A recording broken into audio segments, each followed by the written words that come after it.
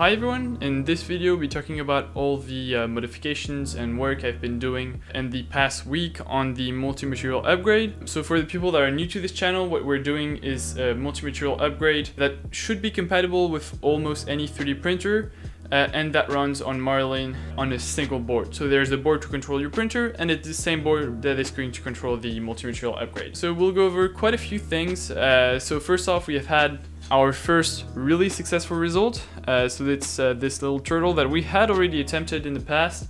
Uh, and when I say in the past, five days ago, and it failed when I attempted to, when the MMU attempted to load in the black filament, because the black filament had never been used in the entire print, uh, so it was not primed and the tip was really badly shaped. And there were a lot of other small assembly errors on the physical upgrade itself, which I've all fixed and uh, it's printing really well now. I'll also be talking uh, about the uh, rotary encoder and magnetic encoder and this is pretty much it in terms of the uh, modifications I've made to the entire thing. There were also a few small uh, physical modifications. So yeah, I have a lot of stuff to talk about in this video, so uh, I'll probably have timestamps in the video so you can skip uh, to the parts that you're interested into. And um, yeah, that's pretty much it. So let's roll the intro and get right into it.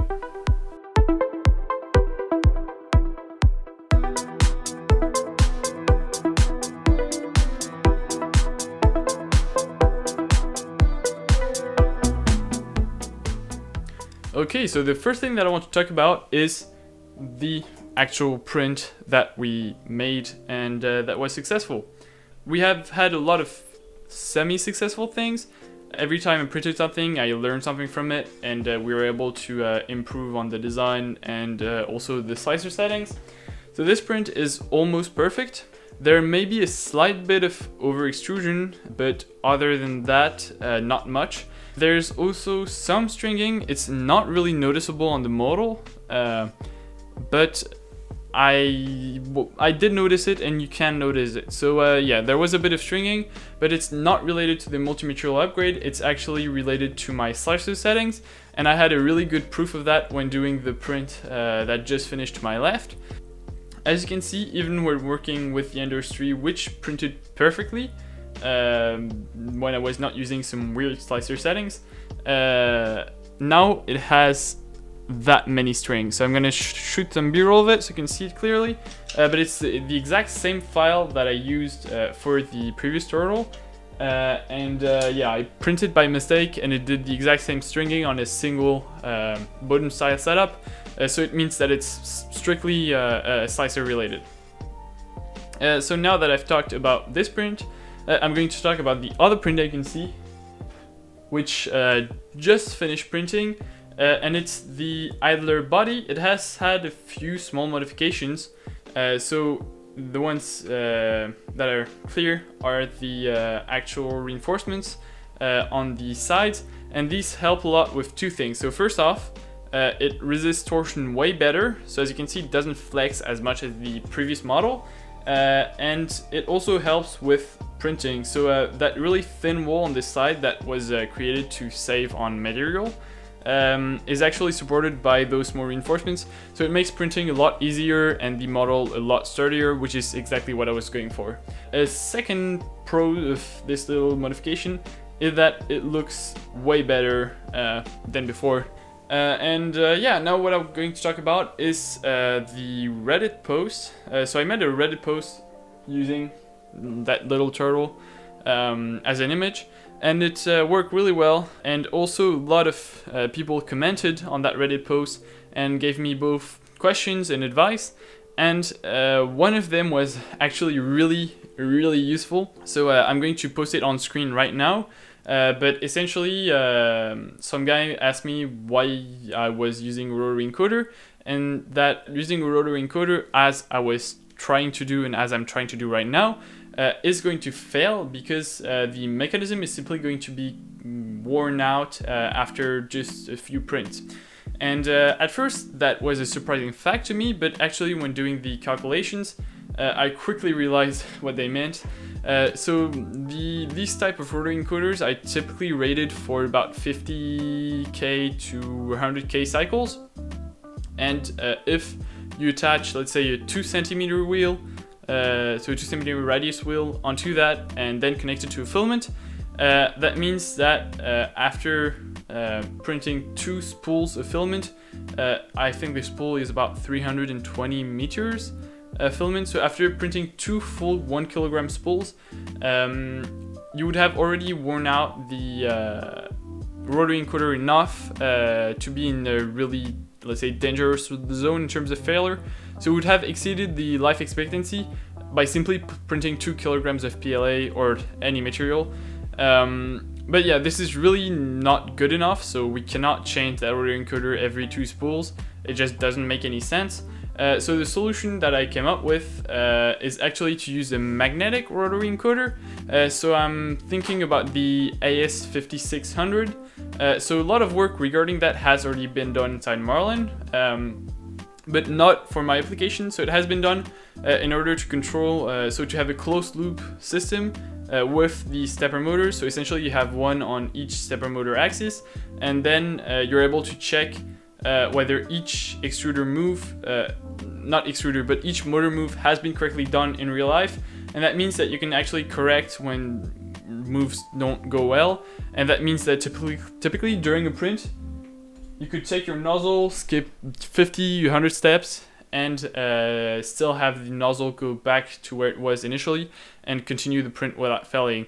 So this is uh, some really good stuff. It's not final, it's a bit hacky right now, uh, but I feel like I could use uh, the work that they have done inside of Marlin uh, in order to um, well use the those I2C uh, magnetic rotary encoders as a smart filament flow sensor and uh, those are have an extremely high life cycle so uh, that means that we have zero problems regarding that. So yeah it's uh, really nice that someone mentioned that to me because it saved me a lot of dev time because now I know that the rotary encoder won't work um, and I don't have to dev anything for it.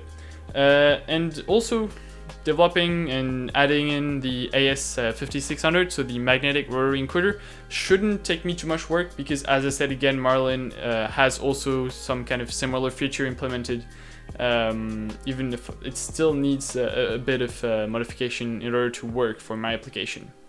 Uh, another thing I want to address uh, is something that I said on Discord. So in order to test Direct Drive, I have to buy First, uh, a lot of filaments. I also have to buy a direct drive upgrade for my Ender 3. Um, I have to get some filaments, some electronics. I basically have to build a second MMU2. Uh, and uh, yeah, I, I, essentially what is happening is that I'm running out of filament. So uh, as you can see, this spool is essentially empty. I have basically four empty spools down there in my filament rack. This one is completely empty as well. So yeah, I'm running out of filaments and uh, the ones that are currently plugged into my uh, uh, the multi-material upgrade on my other printer are either also running out or simply uh, out of like, silk PLA filament and those are not ideal for prototyping. Uh, so yeah, I had a lot of stuff to get and uh, those small things add up and cost a lot in the end and I was just not ready to pay that at that time. So I just said that I would buy it in the future but not right now. And uh, Paul Lewis actually helped a lot and uh, got me basically everything I needed in order to get the direct drive upgrade and uh, to start working on this.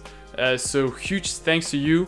Uh, you really basically made this uh, project pos not possible but you made this a lot faster and your contribution means that I'm going to be able to start deving and working on the uh, multi-material upgrade uh, for direct drive setup in the following month. So as soon as I receive the parts, um, and compared to what it would have been if you hadn't helped me, so uh, it would have been like literally a month before I got either enough money from uh, user testing and the stuff I'm doing on the side uh, in order to buy all of that uh, myself or uh, use some of my money uh, directly in order to uh, invest in this project. I would have done it, but it would have been a bit slower and took a bit more time.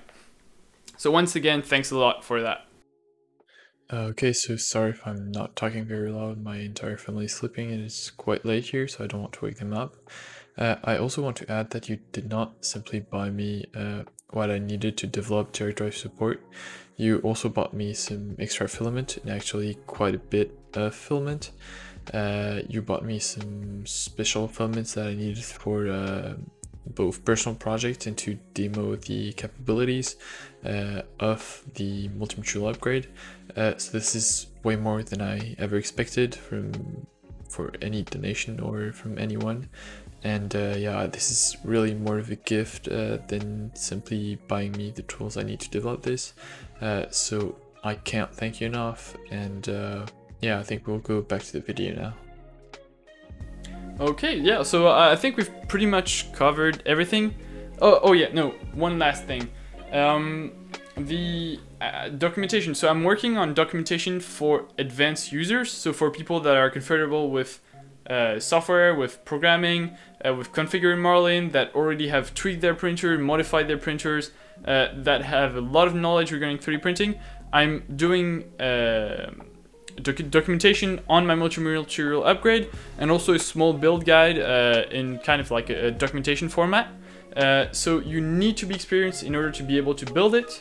Uh, but if you want to contribute or just really can't wait for that upgrade, uh, you can build this little beta version of the upgrade and uh, help me with this project as well. Um, so join the Discord and I will update you on that uh, in there. But there is an upgrade, no documentation coming.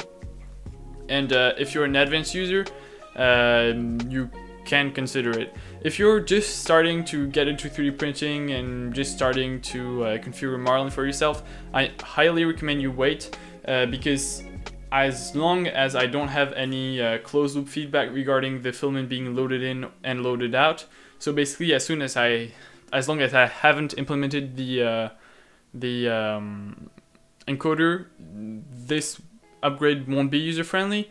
So that means that on shutdown, if a filament is loaded in when you start your printer up, uh, the upgrade has no way of telling whether the filament is loaded in or not. So uh, basically that means that you have to manually um, unload the filament, align all of them at the entry of the merger at the right position.